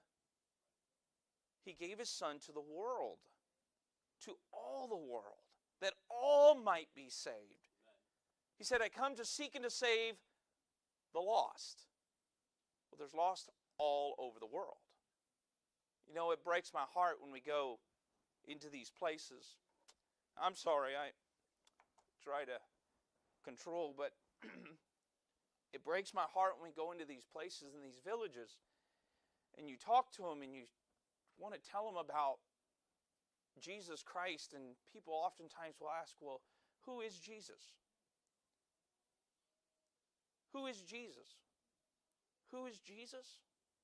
You know, y'all were just singing songs, and I loved singing the songs, the greatest, the sweetest name we know, but they don't even know the name of Jesus. We sing songs like I heard an old, old story, how a Savior came from glory, and it is. It's such an old story that most of the people and most of the young people in this room are like, oh boy, that's the same thing I hear it all the time. But it's not an old, old story to them. In fact, to many of the villages and many of the places, it's a brand new, never heard before story. They've never heard of Jesus. And when you say Jesus came and he died for you, and God sent his son, Jesus, to die for you, they'll say, He did? For, for me? Why, why would he die for me? No joke, folks. People, they just, they've not grasped it. They've not heard it over and over again. You saw in some of the photos, we go into the villages and we'll show a film, a film kind of on, on the life of Jesus, and we show them. But you know, when somebody, when, when Jesus takes the five loaves and the two fishes, and we've heard this hundreds of times, this story, right? But when Jesus takes those five loaves and those two fishes and he holds them up in the film, now stop for a minute and grasp the fact that these people, oftentimes, many of them are starving, no joke, starving to death. Okay, so when you see bloated children on National Geographic and you see these children with their stomachs all bloated out and things, and you think, oh, they're starving to death, and you know, most of us in this room don't even quite understand why they're bloated and their belly buttons are pushing out and all of that. I didn't quite understand it either, but it's really, they won't even say they're starving to death. They'll say, oh, no, no, no, they've eaten today. They've eat, they eat every day. But what they do is they only get to eat, it would be like us eating, uh, well, they eat gari, which would be like, it's cassava, ground cassava. The best way I can explain it is it's like dried grits, not cooked, dried grits and you, they just pick it up and they'll eat it just like that. No moisture. Sometimes they'll mix water in it or whatever, but dried, and that's what they eat. So it'd be like eating um, uh, starch two to three times a day and not ever getting protein. I'm talking never. One of our national pastors, the one church, I said, Pastor Solomon, growing up, he ate gari two times a day for seven years growing up. That's all he ever got. Never did he ever get any type of protein at all. So if you're eating nothing but starch, that just blows your stomach up. You're not getting the nutrition your body really needs. So it looks like they're. Um, so that's why, by the way, they get the bloated stomach. It's because of that the so much starch in their stomach. But anyway, but when you go into these places and you see these villages and you see them, and when Jesus is lifting the five loaves and two fishes up, and he's praying and he asks God to bless it and he brings it down and it's multiplied. And they feed 5,000 men plus women and children. You know, they don't just sit there like we're sitting here today saying, Yeah, I know. I've heard that story like a thousand times in Sunday school. They don't sit there like that. They literally, no joke, they break out in cheers. If this was the crowd, they'd all start! Ah! and then they'd be jabbering back and forth, just in enamored, because they've never even heard the story before. He just multiplied. Did you see him multiply that food? Probably in their minds are thinking, man, I wish he'd do that here today. When they nailed Jesus to the cross, uh, no joke, when we're showing the video and and they take Jesus to Pilate, and Pilate says, Do you want Barabbas or Jesus? And they say, Give us Barabbas. And the people that have never heard of Jesus before, never observed it, they don't know the story, and they've never seen the end, get so angry and mad. They'll holler out, That's not fair. That's injustice. No, Jesus is the innocent one. No, no, no. They'll get so upset sometimes. They'll turn and they'll, you know, like when you watch a bad movie and say, This is stupid. I'm not even going to finish it. They'll turn and walk away. And we have to stop them and say, Hold on, stop. Hold, hold on.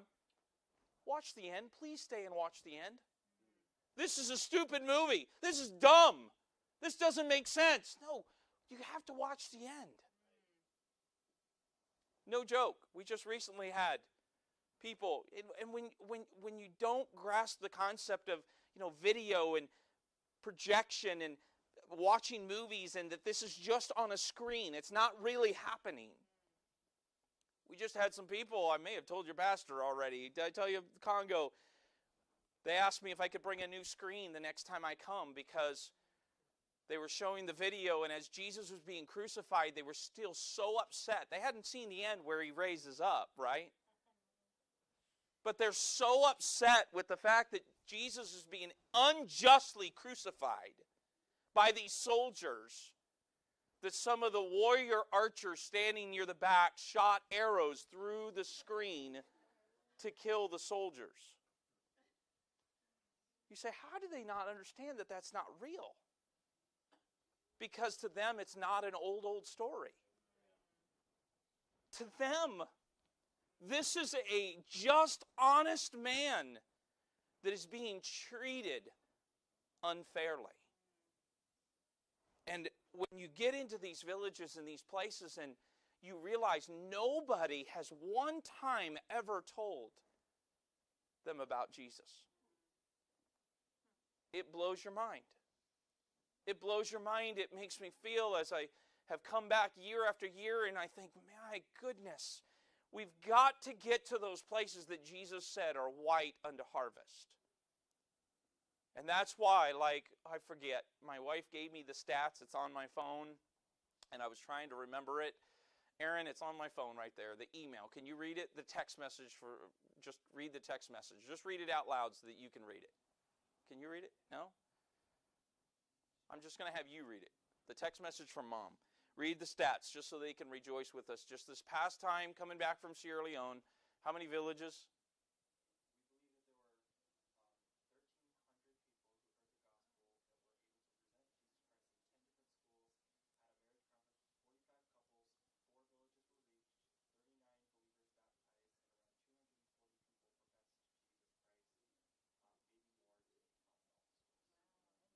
Oftentimes in those schools, and that's very, very conservative, by the way. I personally think the numbers are higher than that with salvations, but we try to be way on the conservative side. Let God do the numbers. I don't want people to think we're making things up. But it's honestly, the fields are white unto harvest, but the laborers are few. The world, Jesus died. God died, gave his son for the world. When he gave his son, he gave his son for the world. When Jesus died, he died for the world. God's vision is not just a localized vision, it's a world vision. He wants us also to have a world vision. There are those who only think of the church, their church, their place. And again, I'm glad you, you you're trust you're a faithful member of your church, but you know some people only think. I've had church members come to me before over the years and say, Pastor, I don't think we should be given to missions. We need to worry about our church. We need to worry about our country. We need to worry about our. And I, you know what I said to him? I said, Oh no. I said, Oh no. That's not what Jesus' plan was. He said, Well, we need to make sure everybody's saved in our country before we worried about going to another country. I said, No, no, no, no. If that were the case, we in America wouldn't even still have the gospel today. Because where was the gospel spread out from? Jerusalem. Are they all Christians in Jerusalem? No, we know they're not. So if they would have waited till all Jerusalem was reached, we'd still be dying and going to hell here. Amen? We got to stop and think about this for a minute before we say things out loud. But honestly, we're not going to see them all saved. And by the way, Jesus didn't even see everyone that he preached to come to him and believe him. Many of them followed. The Bible says many of them followed, but many of them followed just to see the wonders that he did. They didn't really believe. But if they didn't all believe even Jesus, what makes us think every single person we talk to is going to believe? The command isn't that we have to force people to believe in Jesus. The command is to preach the gospel. Just give the facts. If they choose to accept, then okay. But if they choose to reject, now they can't point a finger back at us, right? The command is to preach and give the gospel. That's the same thing Jesus did while he was going from village to village and place to place. Then there are those there are those that say, well, you know, Asia needs to be reached, or oh, Europe needs to be reached, or Africa, or North America, or South America, or wherever. This has to be reached before we go anywhere else. No, we need to be doing. In fact, Acts chapter 1 says to go into Jerusalem, Judea, Samaria, both. It says both in Jerusalem, Judea, Samaria, and the uttermost. That word both means we need to be doing it all at the same time, not just one at a time. All at the same time.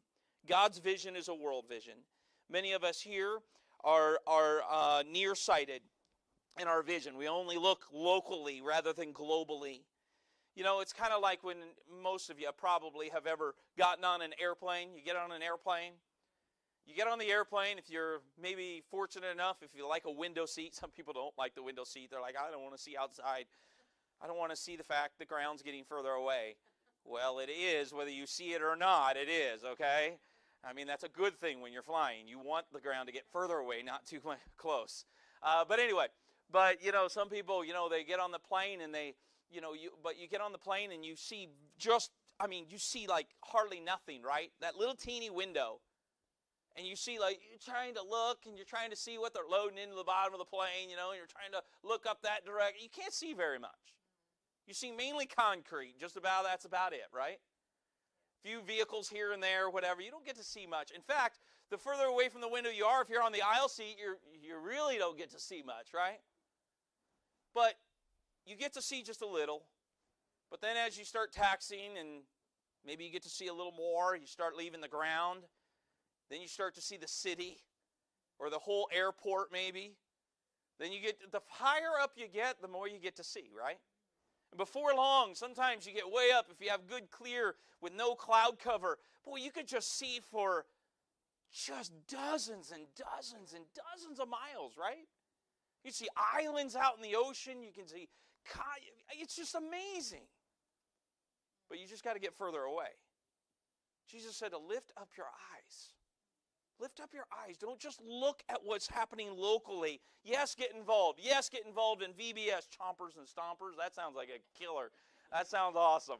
But get involved with your local, your, your, your, your church activities and what's going on and be, be supportive and, and serve and work and be a part of soul winning and bus ride or Sunday school visitation or whatever it is that, you, that, that your church has going. But be involved. But realize that there is a much bigger vision too that God has. He's got a world vision. If God is interested uh, in world vision, then we too need to be interested in world vision. God, from his vantage point, can look down and see all countries, all continents, all islands all at once. We must try to see the world as Jesus sees it. I know it's hard because oftentimes, you know, we just we can't grasp it because we're human and we just don't grasp everything that God has, that God knows and God has seen. But studying some geography would help. Seriously. Talk to those who have done some traveling. Seriously. Um, you all have the benefit of being out here near the base and military men coming and going and ladies that have traveled a lot of the world. We were a little further there in Willingboro, but thankfully we had lots of military people coming and going. And uh, what a blessing it was to be able to talk with them and chat with them and, and, and discuss with them. The uh, military guys in this room, you, you'll know this, or, or ladies as well. But uh, some of the military guys would tell our missionaries when they would travel through, wow, we we're praying for you more. Our military guys, often, several of them, I can think of several that were in Baghdad and various areas, but they said, you know, we go over to these areas, but we have a lot of buddies with us. We have weapons to protect one another. Missionaries are going into these fields with nothing. They're going into these fields without that large army that's supporting them. And so be in prayer for your missionaries that are coming and going in the various different places. But everyone thinks that they are uh, the people or they're the supreme, they're the ones. And that brings me to the second word, supreme. If world evangelism is our most important work, then when a missions conference or a missions gathering or your pastor does something for evangelization, what should be the most important thing in our mind? What should be the most important thing in our schedules? If world evangelism is the supreme task of the church, then what should be the most supreme thing for us to attend? Right? It's just a fact because that's the supreme task of the church is evangelization of the world. That's what God told us to do. Matthew chapter number 6 and verse number 33, you all know it, but seek ye first. Seek ye first what? His kingdom not seek my kingdom first, not seek my desires first, my hopes, my dreams, my wants. Young people, seniors, juniors, the most commonly asked question well, what do you think? What are you going to do? What do you want to do? Seek His kingdom first. You know, that's another thing that saddens me immensely. I go back into these village places. Senior, I don't know who I'm talking to, maybe college student. I go go back into these village places. You can ask my kids, they've been there. If if you see a missionary person in most of these third world environment places, if you see another missionary, usually it's the telltale sign that it's not the same nationality as where you are. Right? It's not always from America, by the way, sometimes different European countries or whatever. But um, if you see someone, I walk up and I say, What are you doing way back in this jungle? I never thought I'd ever see another person that would speak English. What are you doing here? And they look at me kind of the same way. What are you doing here? And we say, Well, man, I'm, you know, we're here on mission work. What are you doing here? Well, I'm with the Peace Corps. Or we're Jehovah's Witness. Or we're Mormon and we're given our two years of a tithe that God has given to me. God's given me 18 years or 20 years. I'm giving Him two years of my life to do mission work. And they're willing to go to all kinds of places. The Peace Corps. I've yet to meet, well, maybe the one, one Peace Corps person that was saved. All the rest of them, not even saved. One man was a 70 some year old, 72 year old retired military, Air Force. But when you join the Peace Corps, you have to sign a paper saying, I will not use any of my funds. I will not use my retirement. I will use any money. They live on just exactly the same amount of money that a national will live on a dollar to a dollar fifty a week. But they sign a commitment saying, I'll live just like the nationals. Unsaved. I've only met one Peace Corps person that was possibly a Christian. All the rest unsaved. But they're willing to go and put themselves in that environment, live that way for years. And I say, why are you doing this? If they're not telling people about Jesus and they're not telling people how to go to heaven, why are you doing this? It's just a good question for me. You know what they say? Just so that I can make the world a better place before I die. Now, Christian, let me ask you, church, don't we have a better message to preach than that? Now, I want to say that yes, we do. That's what I want to say. I want to say yes, we do. But then where are they? If we have such a wonderful message and we have the greatest story ever told and we have the gift of God through eternal life, we have all of that to tell people, then how come those people that have it aren't telling it? Isn't it sad? You see the quandary that it's it's it's strange. And it's very discouraging at times to see that we're not preaching and teaching the gospel to the world as we've been commanded to. But the supreme task. Dr. Oswald J. Smith said the first church uh, uh, in his church, his first church service, he went to Canada. He pastored in Canada. If you know much about him, he went to Canada, pastor. His first church service. After the service, the deacons and the men of the church came to him and said, Pastor, before you uh, before we voted you in as our pastor, we didn't want to tell you this, so we didn't. But our church is just direly, horribly in debt. But we didn't want to tell you because we thought you wouldn't take it. Probably a good idea for him not to tell him. He said, That's fine. He said, No, no, no, Pastor. We've got creditors coming down our back. We've got all kinds of people trying to get us. I mean, we've got old big problems. He said, Okay. So within the first month, he started a missions conference. He told the deacons, he told the church, he said, We're going to have a missions conference. They said, A what? We just said we're in debt. He said, That's all right. We're going to focus on God's world, the command that God gave us. And he began to tell his people, he kept saying to his people, if you focus on God's big world, God will take care of your little world. And so he started missions emphasis in a church that was in debt as a brand new pastor. And one year passes. Within the first year, almost this into the second year, their church was completely out of debt. And their missions had like quadrupled. By the time that first year and pretty close to the end of that, he ends up telling his church, he said, The day our church ever keeps more money in our church than we give to world missions is the day you get my resignation. But from that point on, every year, their church did nothing but just missions, missions, missions, emphasis, and constantly doing their best to reach the world. Because he said, this is the supreme task of God, of the church. It's our job to do what God has commanded us to do.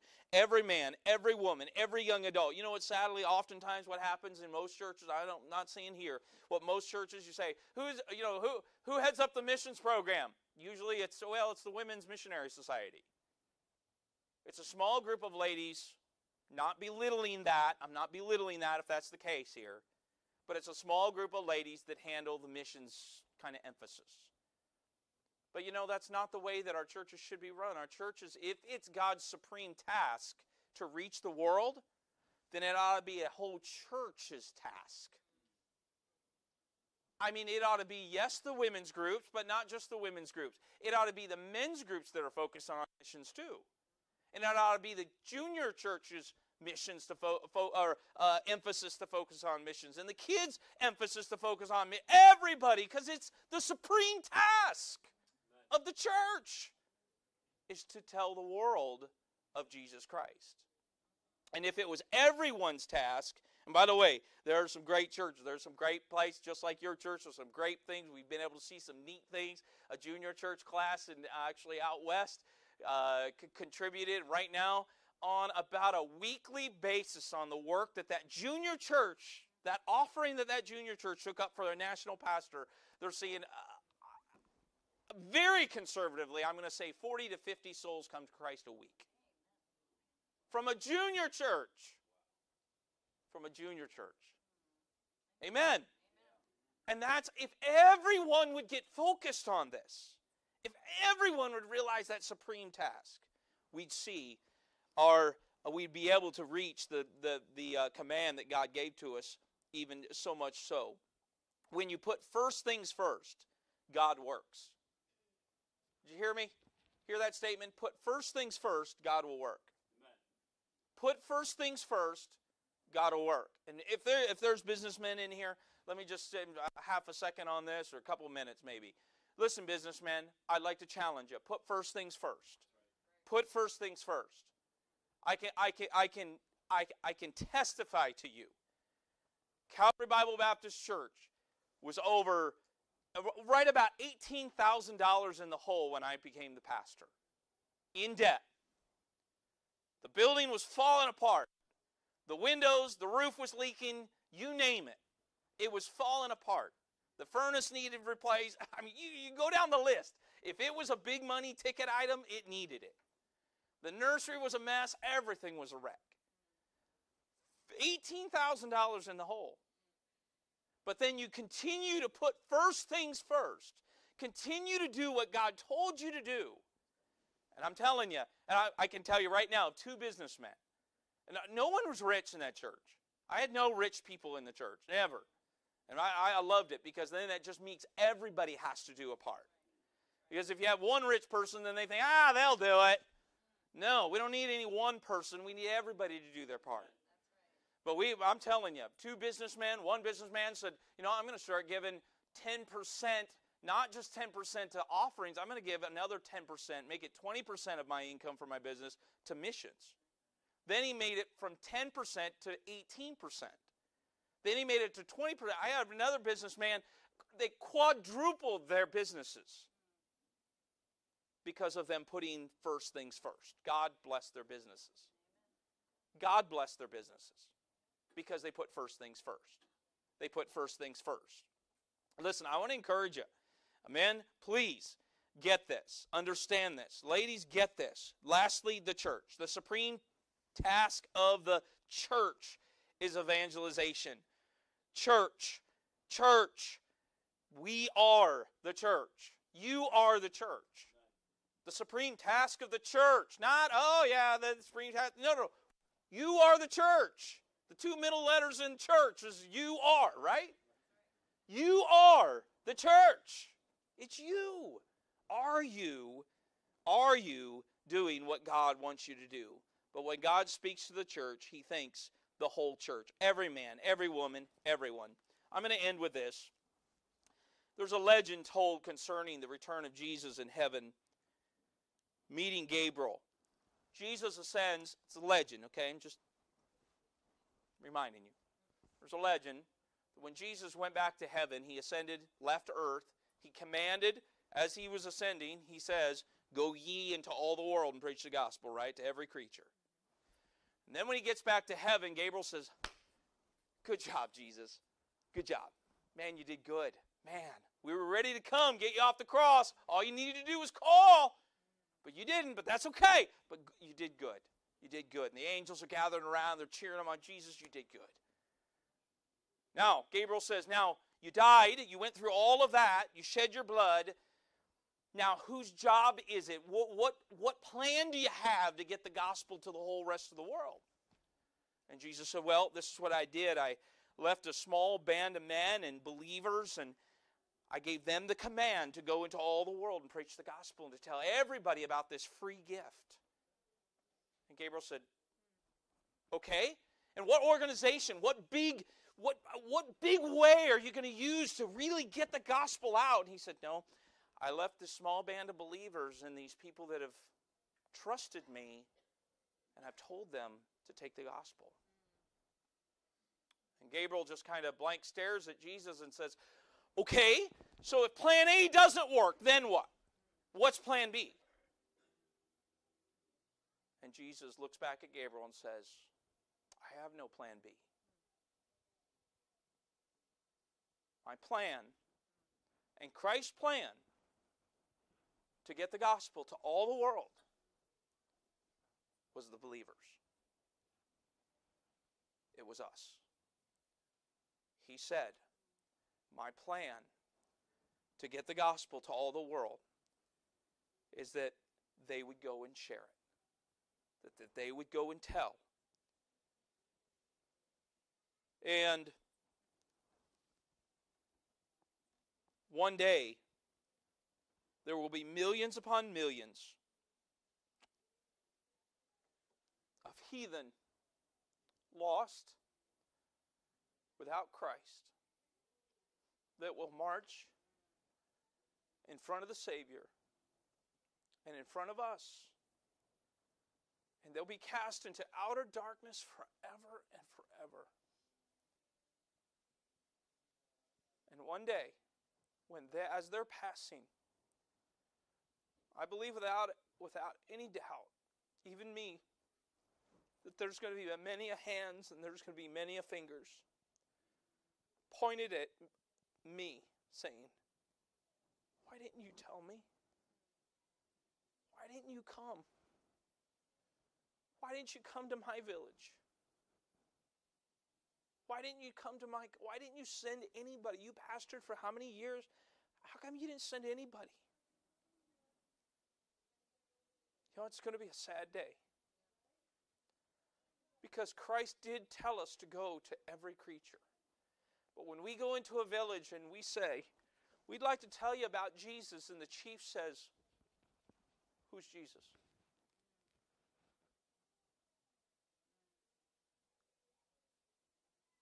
Someone's failed. We failed. I failed. And we need to be better at the Father's business. Amen? I do thank you, church, for your investment. I thank you for all that you have done. I ask you to continue to pray because you know it is Christ's prayer request that we pray ye therefore the Lord of the harvest that he send forth more laborers. And I want to ask you to at least be praying. You may not be able to go, but you could pray. Some of you maybe could go. Some of you young people maybe could go. You know, my son just we just got an announcement. Maybe that some of you here now. One there's a missionary in Thailand right now. He just got all of the public schools opened up to him. He can preach in all public schools. He says there's 1 million, that's 1 million students. He said, I just can't get into them all. I need somebody that's willing to come, some college aged men, some people that could just, all they need to be able to do is give the gospel. Maybe you could do something like that. He said, maybe a month, maybe two months. But I need people willing to get into the schools to preach. I don't know who it is in this room, but I can't help but to believe that in all of our churches across America, there has to be, there definitely has to be more people that God is calling or has commanded and we're just not obeying the command. Amen? I mean, we need to. Our time is short. Everyone in this room feel we know Christ could return at any moment. What are we doing? What are we doing? If you don't know Christ as your Savior, hey, I want to tell you, you need to trust Christ as your Savior too. This message for you. You say, well, I've heard it before. Well, have you accepted it? Amen. Have you accepted it? It's one thing to be a hearer and not a doer. Have you accepted it? Do you know Jesus Christ as your personal Lord and Savior? Do you know where you're going to spend eternity when you die? Father, I pray that you bless. I pray that you be with each one here. I don't know all the faces here. I don't know who's a very first time visitor or return visitor or someone that's maybe been struggling with their eternal security. Lord, I pray that you would be with each one here. I thank you, Lord, for this church, the pastor's family, the, the church, and their emphasis on missions already. But Lord, I pray that you would help us to just do more. We know we're not, still not reaching the world. We know there's still so many places still yet to even hear your name. Lord, I pray. Maybe there's a young person in this room that would be willing to go, maybe on a maybe only a 2-week trip. Maybe a month. Maybe 6 months. But Lord, if there's someone in this room, please don't don't let them be at peace just sitting still. Work in their heart, Lord. Help them to obey the command. We love you, Heavenly Father, and we need you, and we thank you for all you do. In your name we pray. With heads bowed and eyes closed, if there's anyone here today,